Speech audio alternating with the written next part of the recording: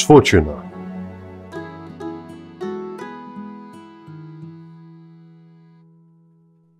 Once there lived a king and a queen.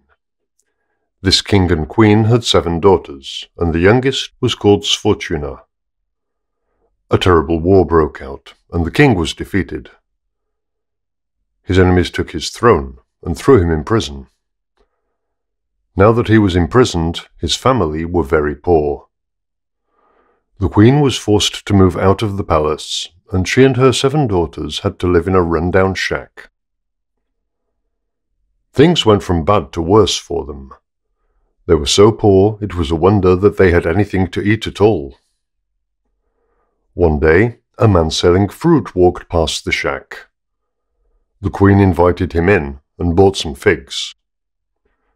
Just then, an old beggar woman appeared, asking for a little money.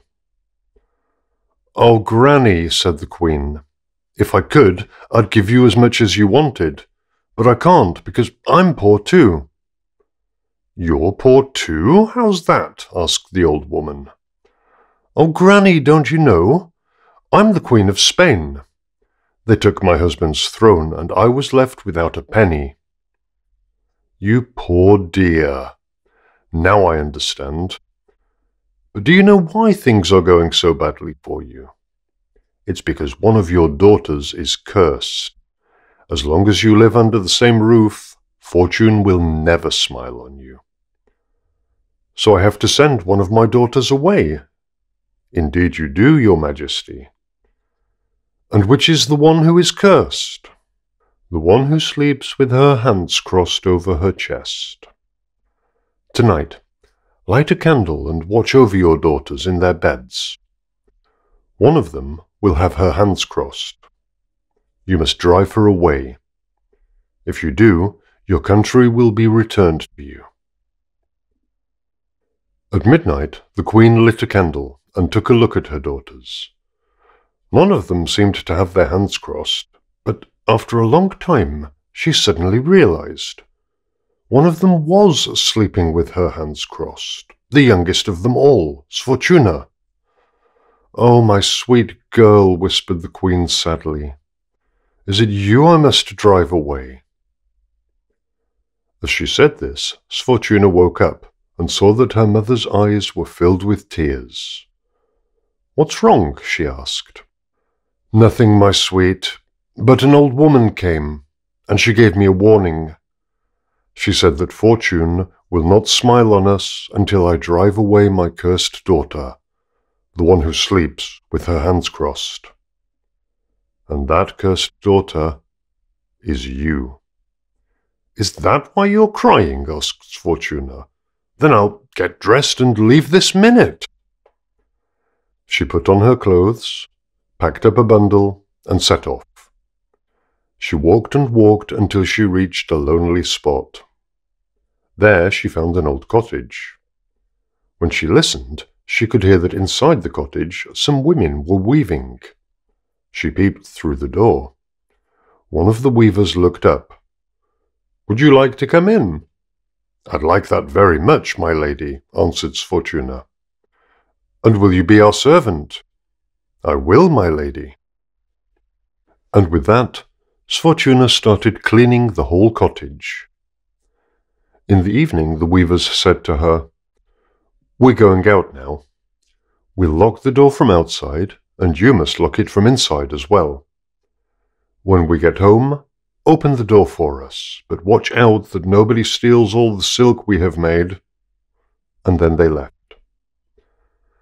Just around midnight, Sfortuna woke up with a start.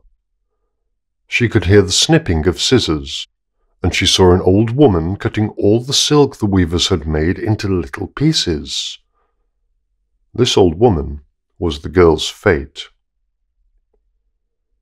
The next day, the weavers came home again.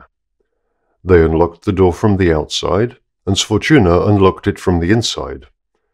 But as soon as the women stepped into the cottage, scattered all over the floor, they saw a dreadful sight. Shame on you, they cried. This is how you thank us for our kindness? Get out! And they chased her away, kicking her to make her run faster. And so the poor cursed girl walked on. She passed through many villages, and in one she stopped at a shop and asked for a bite to eat. The shopkeeper's wife took pity on her, and after giving Sfortuna a piece of bread, a little cheese, and a glass of wine, she even made her a bed for the night among the sacks in the storeroom. When the shopkeeper came home, they all had dinner, and then they went to bed. But in the middle of the night, the man and his wife awoke to a terrible noise. The barrels in the storeroom were lying on their sides, and the wine was spilled all over the floor. The shopkeeper ran in and saw the girl lying in bed, groaning loudly. Shame on you, he cried. What have you done? He grabbed a stick and beat her with it, and then he chased her away. The poor girl ran off with tears in her eyes. She had no idea where to go or who to turn to for help. She walked and walked until one day she came to a village where she saw a washerwoman. What are you staring at? asked the washerwoman. I'm just roaming the world, replied Sfortuna. Can you wash clothes? I can, my lady. Then you can stay here and help me. I'll scrub, you'll rinse. And with that, the poor girl started rinsing the soapy clothes. After that, she hung them up to dry. When the clothes were dry, she took them down. Then she patched them, starched them, and finally ironed them. Well, these clothes belonged to a prince, and when the washerwoman returned them to the palace, he was delighted with them. Mother Francesca, said the prince, this is the finest work you have ever done for me. I must reward you for it. And he gave the woman ten gold coins. Mother Francesca went straight to the shop.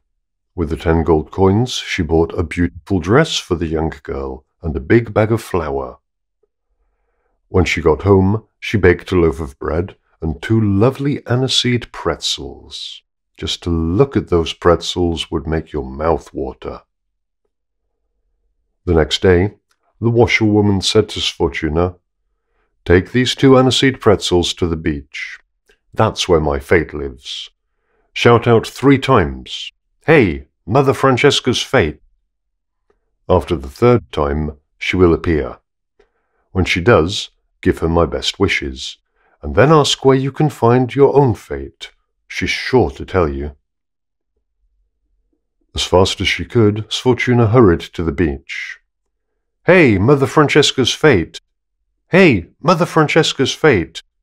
Hey, Mother Francesca's fate! The next moment, Mother Francesca's fate appeared. The girl gave her the washerwoman's best wishes and offered her one of the pretzels. Then she asked where she could find her own fate. Listen well, and I'll tell you what to do, replied Mother Francesca's fate. Walk along that path. Follow it until you reach a river. On the river bank, you will see an old witch. Greet her politely and give her your other pretzel. That witch is your evil fate. She'll be very unfriendly, but don't let that bother you. Just give her the pretzel and then go back home. Sfortuna set off along the path. When she reached the river, she saw a horrible old witch. The woman was the dirtiest, smelliest, ugliest old witch you could imagine. Sfortuna felt sick, but she took out the aniseed pretzel and said, Mother Fate, please accept my gift. Leave me in peace, snapped the witch. I don't want your pretzel. And then she turned her back on the girl.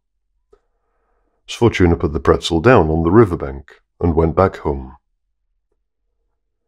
The next day was Monday, and there was more washing to do. Mother Francesca soaked the clothes and scrubbed them. Sfortuna rinsed the clothes and hung them up to dry.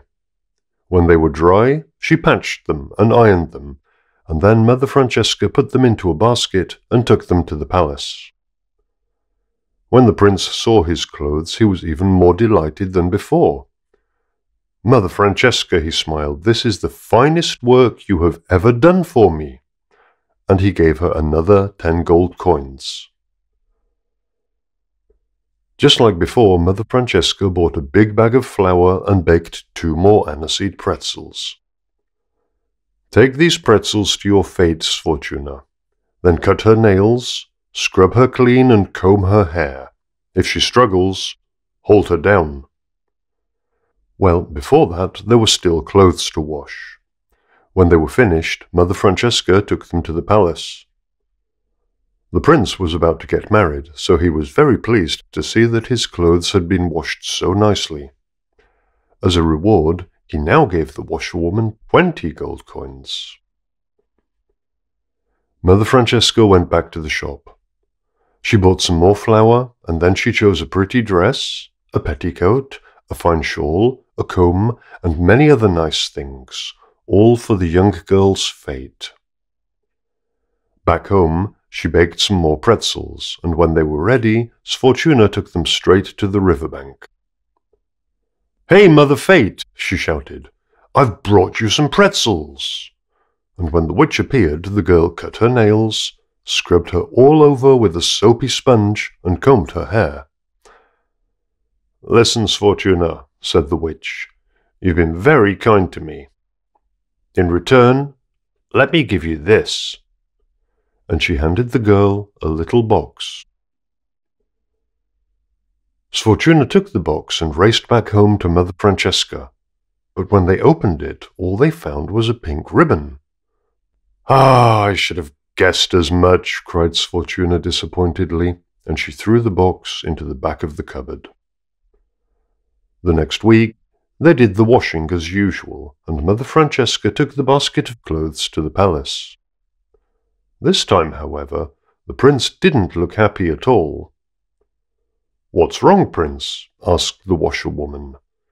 Everything's wrong, he replied. I wish to get married, but my fiancée wants a pink ribbon to wear on her wedding dress. I've sent men all over the country to buy a ribbon that is just the right color, but they can't find a single one. Is that all you're upset about? said Mother Francesca. Don't worry. Leave it to me. And what did she do? She hurried home, found Sfortuna's ribbon at the back of the cupboard, and took it to the palace. The prince's fiancée said that the ribbon was perfect, and the prince was overjoyed. You have saved my wedding, Mother Francesca. Your ribbon is worth its weight in gold, and I will give you exactly that much. He took out a set of scales, put the ribbon into one pan, and poured gold coins into the other one. But even when the second pan was overflowing with coins, the one with the ribbon in it still didn't rise. It's unbelievable, cried the prince. No ribbon could weigh as much as this. Where did you get it? The question took Mother Francesca by surprise, and she had no choice but to tell him the whole story. After that, the prince naturally wanted to meet Sfortuna. Mother Francesca dressed the girl in her best clothes and took her to the palace. When she entered the throne room, Sfortuna bowed politely. The prince greeted her and offered her a seat. Then he asked, who are you? I am Sfortuna, the youngest daughter of the King of Spain. My father's enemies took his throne and threw him in prison. I was cursed by fate, and I had to leave home. The people I met bullied me and beat me. And she told him everything that had happened to her. The prince immediately called for the weavers whose silk had been cut to pieces by Sfortuna's evil fate. How much was that silk worth? Two hundred gold coins, your highness. The prince took out two hundred gold coins and gave it to the women. Then he said, This poor girl is a princess, and you beat her. Don't forget, you should never hurt anyone. You may go. Next he called for the shopkeeper. How much was that wine worth? Three hundred gold coins, your highness. The prince gave the man three hundred gold coins and said, You beat a princess. Don't let it happen again. You may go. After that, he sent his fiancée away because he no longer liked her that much. He married Sfortuna and made Mother Francesca a lady in waiting. Let's leave the prince to his happiness and see what happened to Sfortuna's mother. As soon as Sfortuna had left home, the queen's fortunes improved. So much so that her brothers and cousins arrived with a huge army and drove their enemies away. The queen moved back into the palace with her other daughters, and they lived there very comfortably. But their hearts ached for Sfortuna. They didn't even know if she was still alive. They searched for her everywhere, and asked everyone if they had seen the girl. Finally, they found out where she was. How? Well, it was thanks to the prince. When he heard that Sfortuna's mother had got her country back, he sent a messenger who told the queen everything. You can imagine how excited she was, and she immediately set off with her knights and ladies in waiting to visit the prince's palace. As soon as the queen saw her long lost daughter, she threw her arms around the girl and hugged her and hugged her. After that, Sfortuna's sisters appeared. None of them had ever felt such joy. The whole country celebrated the family's reunion, and they all lived happily ever after.